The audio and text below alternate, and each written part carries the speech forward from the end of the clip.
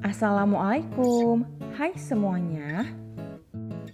Di video kali ini aku mau share inspirasi cookies untuk lebaran. Kalau dari bentuk ini sih mirip tamprin ya, tapi kalau dari namanya sih jelas berbeda ya.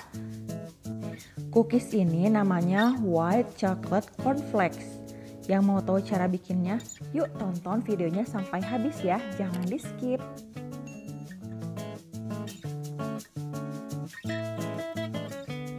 Pertama-tama kita siapkan wadah. Masukkan 150 gram margarin. Masukkan 75 gram unsalted butter.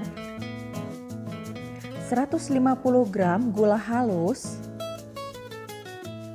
Lalu ini akan kita kocok terlebih dahulu sampai lembut, kurang lebih sekitar 2 sampai 3 menit. Kalau udah lembut, kita stop dulu. Masukkan 2 butir kuning telur. Setelah itu kita kocok kembali sampai semuanya tercampur dengan rata. Gak usah lama-lama ya, kurang lebih selama satu menit aja. Sekarang kita ayak jadi satu bahan keringnya, yaitu 275 gram tepung terigu protein sedang. Aku menggunakan merek segitiga biru. Selanjutnya, masukkan 50 gram tepung maizena. Lalu ini akan kita ayak tepungnya. Tujuannya adalah supaya nanti tidak ada yang bergerindil. Lalu kita aduk sampai semuanya tercampur dengan rata.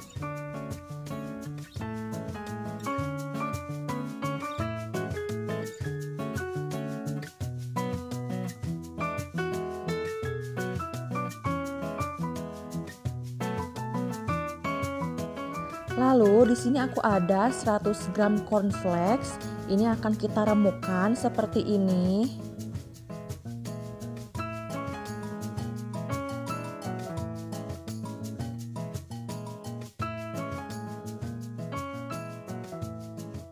Sekarang kita ambil adonan dan dibulat-bulatkan, lalu kita gulingkan ke remahan cornflakes.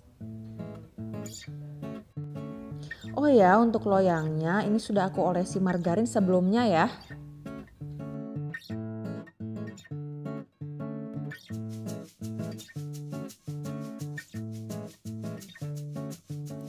Setelah itu, kita lubangi bagian tengahnya dengan jari kelingking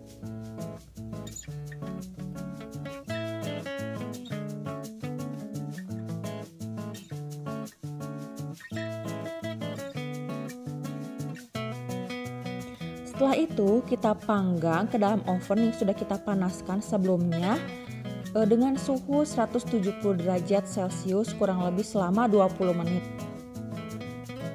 Kalau sudah selesai dipanggang, tunggu sampai dingin ya.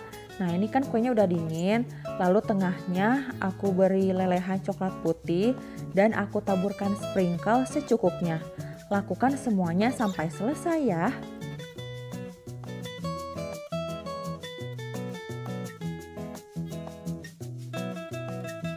Nah, di sini aku ada sedikit tips buat teman-teman yang memanggangnya pakai oven tangkring seperti aku.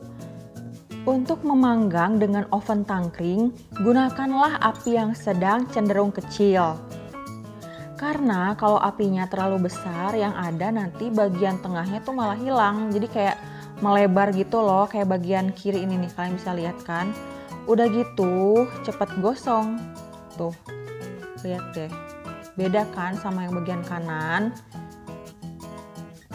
Nah, di sini kalian harus pandai mengira-ngira besar kecilnya api karena kadang-kadang setiap oven itu berbeda-beda ya, teman-teman.